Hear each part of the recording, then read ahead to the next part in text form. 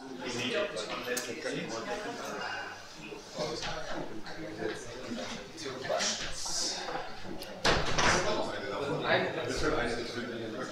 guess we start. I welcome you to the session Status Media Manager.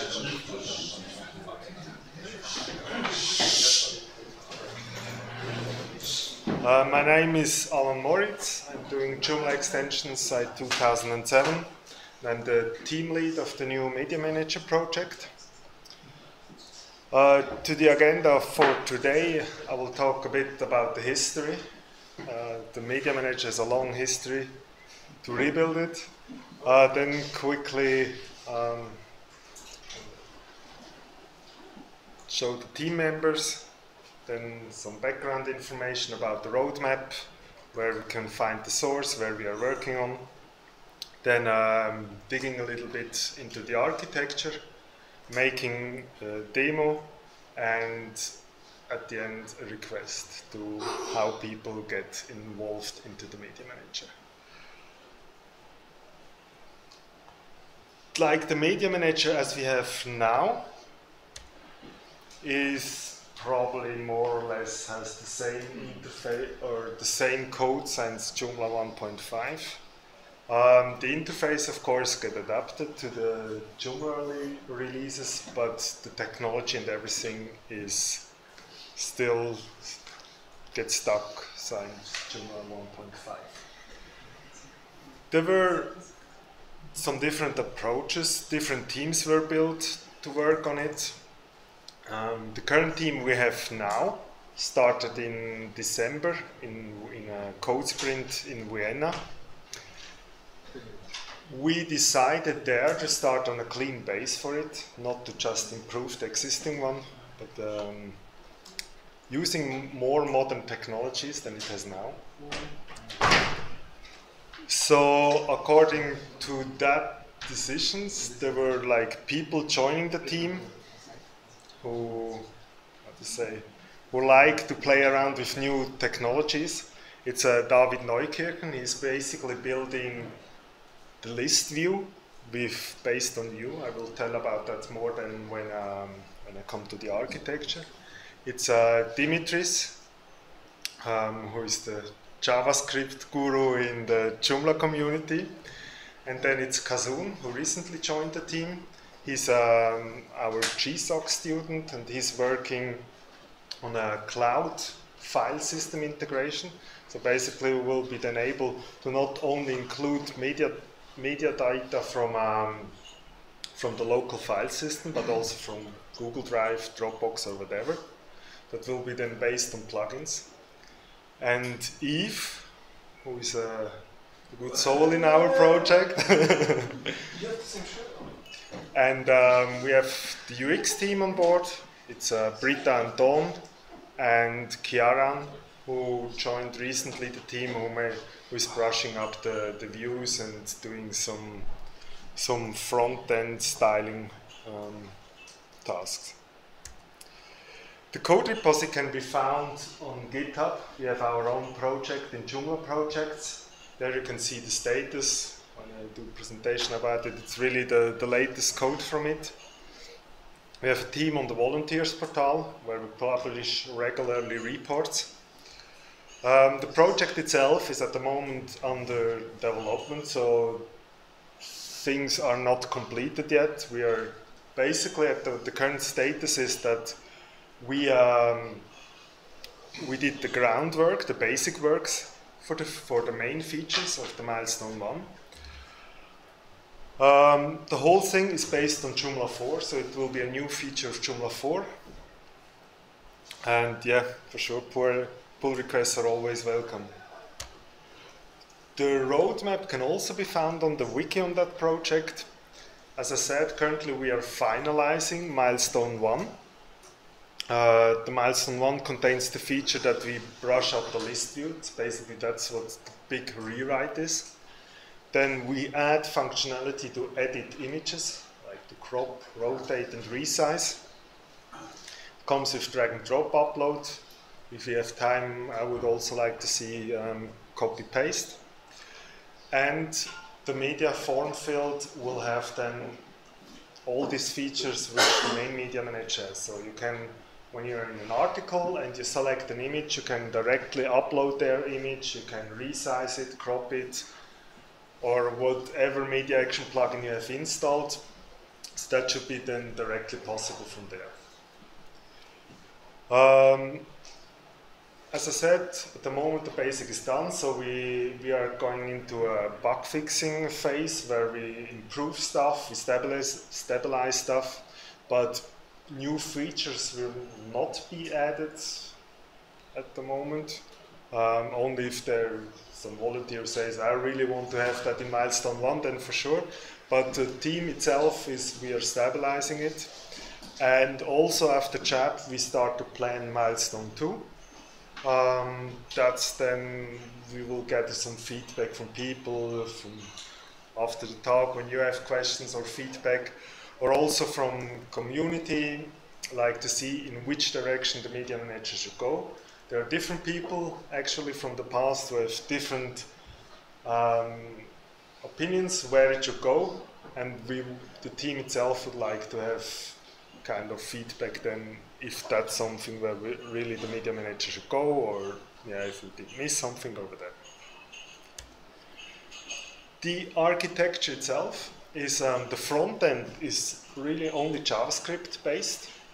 So it's not anymore when you click on a on a on a folder in the sidebar, it loads the whole page. It's really just interacts with the backend only with JavaScript. Uh, the backend itself serves the data as JSON data. It's a kind of a API. When the web services project will be then, or when web services will be integrated into Joomla core, then we will definitely move to that pro to that project. At the moment, it's really just controller who returns um, JSON data. Um, the whole editing functionality is done in plugins. So in the future, extension developers will be able to offer their own image editing plugins. There's then a next step, probably in milestone two, where we add support for more um, media types, for example, PDFs or videos or whatever. And the styling of all of that is done through Sass. And also the media manager itself, the Vue development, that's, that's part of, like they call that components and all of that will be compiled then in a JavaScript file, and that JavaScript file will be then always loaded. So it's not, not some kind of of JavaScript on runtime evaluation or whatever. It's really like a small compact file which will be loaded, and all the all the different templating will be done in that. Here you see a picture from us on the code sprint. It's not, we were not really working on the media manager, but it was, I thought, it was a good idea. I need to apologize a bit because um, screen resolution is very small. But yeah, I guess it will work. I guess can everybody more or less see what's here on the screen? So the layout itself is more or less similar to the existing media manager. But when, when you're here browsing through the folders, it will reload then here directly on the page. You see there is no page load done.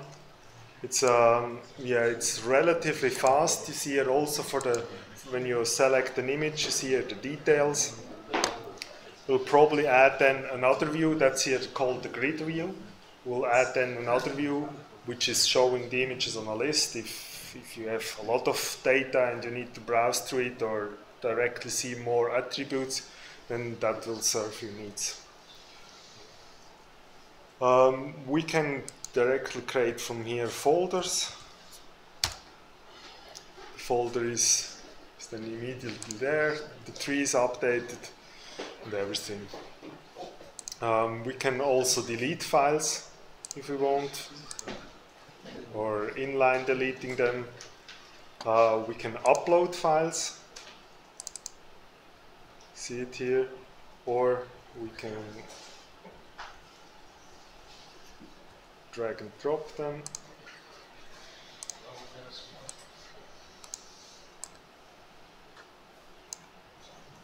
And then directly the file is uploaded. Um, editing can be done through, through the edit button. And then you will see that here, for example, crop plugin. The core itself will come with crop, resize, and rotate. These three plugins out of the box. We can uh, here, as you do, as you get used to in an image editing program, it's, uh, it has more or less similar functionality. All of that is done on the front end. It's JavaScript based. There's no interaction with the backend. With the. Only when I save it, then it will be sent back to the backend and stored as a new file. You can reset it. Yeah, basic functionality. I hope that in the future then that there will be really powerful plugins coming out there to really make the life of life of a of a system administrator easier. You can then save and close that. And then you see it, you'll see that the file is different, is cropped. Um, there's multi-select, which you can delete of them. This is a bad idea.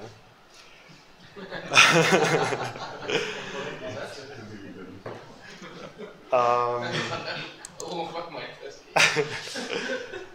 the whole thing is integrated into where's the content? Into the content manager. When you edit or create a new article you can here select one and then you have the whole media manager. We're still will brushing up that a bit that it's probably not so cluttered like it is on the on the main one in the backend but basically we'll have from here then the same functionality to drag and drop upload the files edit the files inline as many people requested it.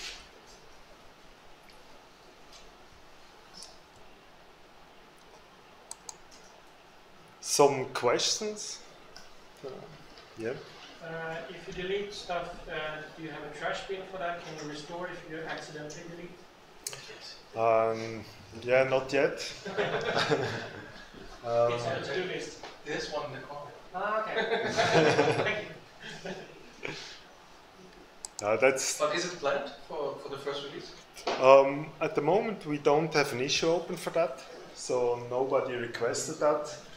Um, yeah, we have open an issue and we'll see what can be done, or perhaps somebody's volunteering. Show us where we put it in the share for the next slide. Um, yeah, it's, it was um, here on the code repository. Yeah, forgot that to say. We have there also the issue list. At the moment, there are mostly bugs in there, but, but there we also can request for new features.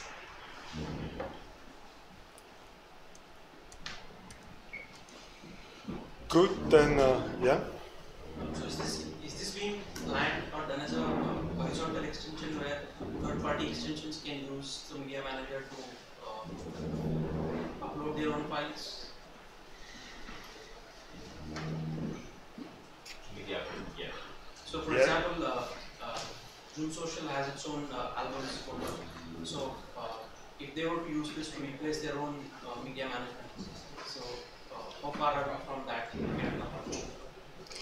Yeah, at the moment we have a media form field. Um, I don't know, Dimitris, can you say a couple words about how do you think the integration can happen? Because I don't know, will we ever integrate that into the media manager, uh, into TinyMCE? Yes, of course. Well, Probably TinyMCE might have uh, the ability to do directly image editing, so you don't have to open some other things to do in TinyMCE. But that's not for much now. no, definitely not. It all, it Does all, this, does this use a table or it's still completely file based? Like, uh, So is there a media table that we have, or is it, uh, I mean, the database table, or is it uh, based off files like right now? No, it's really based on files. It's no no databases involved at the moment. So it's more of a UI uh, enhancement. Yeah. And it is possible to use it in a tablet or a mobile phone, only for desktop. The Question was if it's use uh, it's usable on a tablet or a mobile phone. The question is is the backend usable on a tablet or mobile phone? No. People. Are you planning to expose the media manager the front end? Yeah, the same way as it now is it is as it is now, like through the media form field. But um, it's not planned to make something like a kind of gallery or something like that for the front end because that's job of extensions, and in my opinion, not the media manager. So it's going to have some kind of support of mobile devices. It is going to have, What? it is going to have some kind of support for mobile devices. You mean in screen size? Yeah.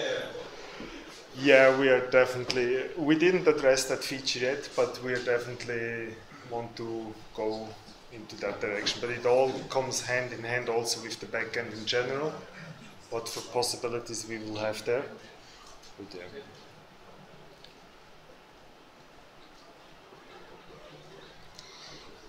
Do you have per user uh, media courses? The ones which, except the ones which I showed. No, so is it possible that each user has its own folder where nobody else can select from? hmm Yeah, I I made in I added that feature in custom fields, and it basically it confused more people. Some people were even talking about that it's a security hole because at the moment everything is file system based. So you kind of need to protect that then through htaccess or whatever. And yeah, I guess when some people have the vision that the media manager should go into kind of document management system with database, which you can do ACL and access levels and everything on that. And yeah, then it's definitely possible to do something like this, the home or the user feature where it's only like every user has its own directory. But with the current setup, it's just like would be then a kind of a UI hack, but it's not secure because it's everything is file system based. Yes. When you edit the image, when you upload the, um, you say somebody right, uploads a large file, you know, three megabyte file, and say 3,000, and they reduce the size. Will that reduce the corresponding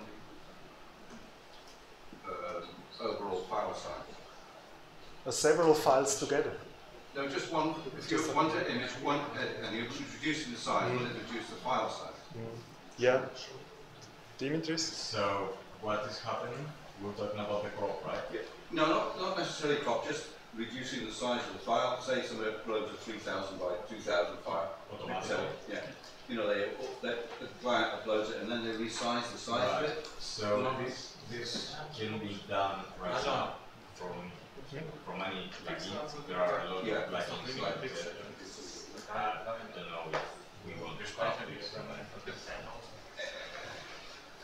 Well, I normally edit it before I upload it, but I think it's done. Clients upload a huge file and go, well, the page is running a bit slow. You know, Depends. So what am I doing personally is I'm uploading the biggest image possible, and then I have a plugin that I do source it. So I do many uh, many copies of the image different elements, and the source is uh, an attribute the image tag. It's the HTML5 image tag, and that is handled then uh, natively by the browser. So you have also SEO, better SEO, and uh, most of the time smaller uh, page size because you're downloading the uh, the most hit image for the device that uh, someone is using to So it's already possible to write a kind of a rewrite plugin. There are plugin events, and so that every image that you can write then in the plugin that every image will not be bigger than 1200 pixel wide or something like that. That should be already possible.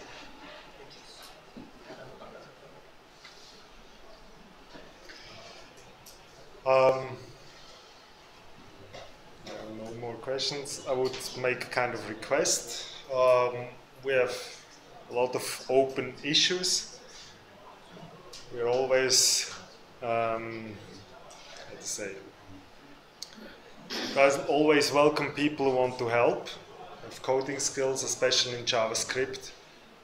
Pick, pick an issue, create a pull request, and we'll get that thing done.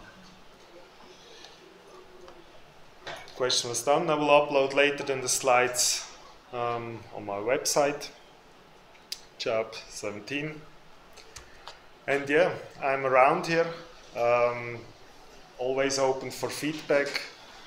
Ask Dimitris, Ciaran, Yves if you want to know something. We are here to help.